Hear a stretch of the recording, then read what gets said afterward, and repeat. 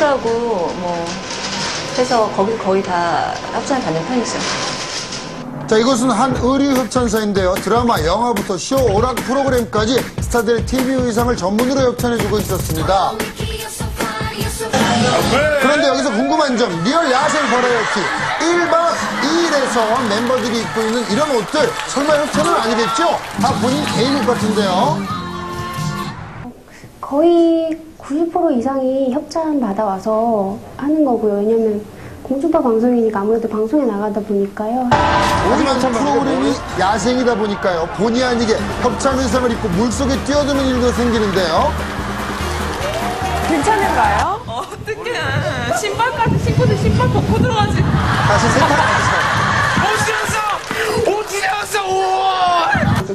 거나 그러면은 가져가기가 힘들어서 제가 그거 말고는 뭐 어차피 세탁해서 들어가는 거니까 이렇게 찢어지지만 않으면 괜찮아요. 찢어지거나 하면 이제 사야 되는데 이제 그때는 이제 좀 곤란하죠. 마음이 아프죠. 그런가 하면 가수의 경우 무대 의상은 구입하기가 어려워서 직접 제작한다고 하는데요. 그 컨셉에 따라서 먼저 시장 조사를 해요. 그래서 이런 옷들이 진짜 실제로 있는지 없는지 시장 조사를 한 다음에 그다음에 이제 시장 조사를 해서 이건 저희 그렇게 구- 구할 수가 없는 옷이다. 그러면 그거를 이제 제작하는 단계로 들어가는데 자, 이곳은 원더걸스의 무대 의상을 제작하는 곳입니다. 컨셉에 맞게 원더걸스 사이즈에 딱 맞게 제작된 이 옷들은요. 아, 만드는 거예요? 그렇죠. 자, 바로 이렇게 원더걸스가 예쁘게 소화해내는데요. 현장에서 잘못된 부분은 바로바로 손질하는 것도 스타일리스트의 임무죠. 어쩐지 입고 다니는 사람이 없더라고요. 엘레강스하고 섹시하고 섹시하고 라인 차차피 정말 저희 안무를 위해서 정말 이 신축성 있는 디자인. 그렇죠 그렇습니다. 굉장히 신뢰. 네, 옷을 정말 좋아하세요. 하지만 스타에게 다양한 스타일링을 해주다 보면 예기치 않은 고민이 생기기도 하는데요. 바로 코디가 안티라는 말입니다. 이 사진들이 바로 코디가 안티라는 제목으로 인터넷에 떠도는 사진들인데요. 그럴 수가 있나요?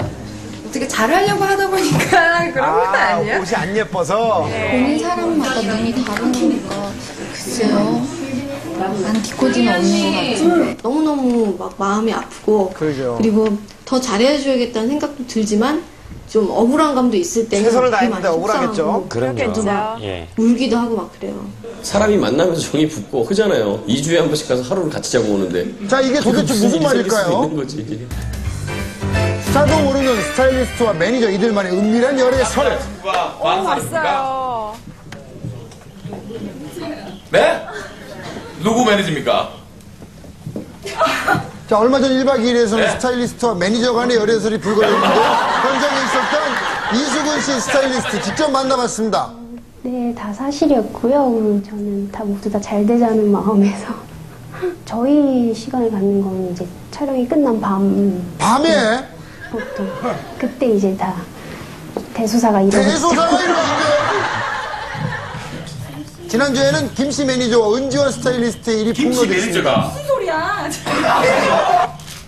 없지 않죠. 자, 이분을 만나봤습니다. 이분 만나야죠. 만난 적도 한 번도 없고요. 오직 그 1박 2일 촬영 때만 보고, 예. 그러니까 말 그대로 그냥 관심이 없는 건 아니에요. 예. 잘 됐으면 좋겠습니다. 네, 정말 말 부럽네요. 그대로 없진 않는 거죠. 스타일리스트는 저에게 날개를 달아주는 것 같아요. 네, 그런 존재? 그걸 예쁘게 포장해서 보는 이들로 하여금 기분 좋게 하고 눈을 시원하게 만들어주는 그런 역할? 스타를 더욱 빛나게 해주는 스타일리스트의 세계 궁금증이 해결되셨나요? 집중 분석은 다음 주에도 계속됩니다.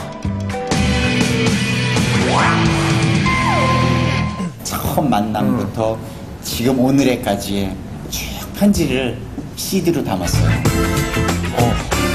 어, 자주 친구들이 뭐라 그래서 아, 하면 안 됩니다. 이제 그만해야 됩니다. 이보다 더 사랑할 순 없다. 최수종 하이라 부부가 사는 법 지금 공개됩니다. 희기 부부 최수종 씨 하이라십니다. 안녕하세요. 안녕하세요 이렇게 웃으세요. 아니 갑자기 희귀 부부 하니까 너무 재밌어요 마음에 안 드시나요? 아니 왜 좋은 뜻이면 좋고요 나쁜 뜻이 아니기를 더 밝고 기분이 좋아 보이세요. 같이 일을 한다는 게 즐겁고 알겠습니다. 따스한 햇살과 소리나 반가운 최수종 하이라 부부. 오랜만에 함께하는 촬영이어서일까요? 촬영 내내 싱글벙글입니다. 촬영 후에도 손을 놓지 않는데요. 우리 야외 아, 저 들뜨신 것 같아요. 글쎄요 어, 이런 말하면 또 항상 좋습니다. 같이 있는 게 항상 좋고 단점도 없나요? 금슬이 좋을까요? 아, 예. 뭐라 그럴까요? 무조건적이다? 예, 무조건적인. 조건이 안 무조건이야. 무조건 네, 정말 대단하죠? 두 분이 생각하실 때 그 라이벌 커플이 있을까요, 혹시? 좀 죄송할 때가 있어요. 나오면 맨날 저 부부는 나와서 뭐 이벤트 얘기하고 서로 뭐 얼만큼 사랑하나 얘기하는 것만 같아서 사실 조심스러울 때도 많아요. 그러다 보니까 그래서 그렇지 보면은 뭐 어, 정혜영 씨 그 부부도 예, 너무너무 예쁘게 알콩달콩 네, 알고 있죠. 네, 15년차 대표 닭살 커플도 인정한 4년차의 션 정혜영 부부. 3,383일 만에 결혼했어요. 아, 역시 만만치 않죠? 최수종 씨의 단독 촬영이 이어졌는데요. 잠깐 쉬세요. 하이라 씨. 네, 정말 아이 같지 않나요? 자, 이번에는 하이라 씨의 단독 촬영 정말 혼자냐고요? 그럴 리가 있나요? 이 하이라 씨의 모습을 담느라 여념이 없습니다. 정말 잠시도 안 쉬더라고요. 잘 나왔나요? 네 환상입니다. 네, 결혼 전 프로그램 진행은 물론이고요. 영화에서도 함께 호흡을 맞췄던 두 사람. 혹시요, 앞으로 작품을 함께 할 계획은 없나요? 어때서? 드라마 같은 경우는 같이 할 계획은 앞으로도 전혀 없을 겁니다. 더 멋지고 좋은 여배우들이 많기 때문에요. 최세호 씨 저랑 하면 안 돼요. 아 전혀요. 저는 감사할 따름이죠. 연극 무대 쪽은 하이라 씨와 아, 그래요? 한번 공연해 보고 아, 나 싶어요. 지금 처음 들어요. 네, 잠시 쉬는 시간 어묵을 먹는 최수종 씨를 보고요. 부끄러운지 멀리서만 지켜보던 소년들 드디어 용기를 내서 다가가 보는데요. 친절한 최수종 씨 이렇게 귀여운 포즈를 취해줍니다. 정말 좋아하죠? 최수종 씨 최고. 네, 연예계 소문난 장난꾸러기 최수종 씨 촬영 중간중간에도 멈추질 않았는데요. 정말 개그쟁이 같죠? 애들 재밌게 키워요. 아들 찍으셨죠? 아들 노래 따라 나. 자 이번에 살짝 껴안는 포즈.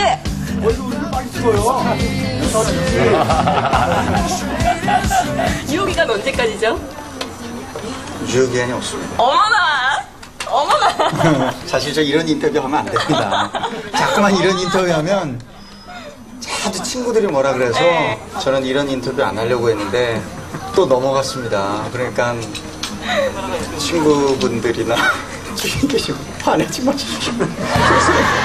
네, 앞으로도 유혹이가 넘는 사랑으로 쭉 행복하시길 바랄게요.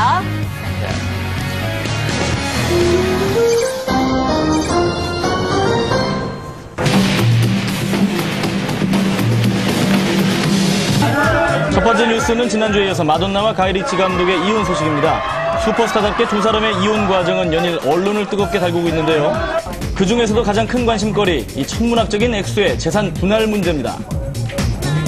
두 사람은 2000년 12월 결혼 당시 혼전 계약서를 작성한 것으로 알려져 있는데요. 이 문서에는 부부가 결별할 때 리치는 약 860억 원,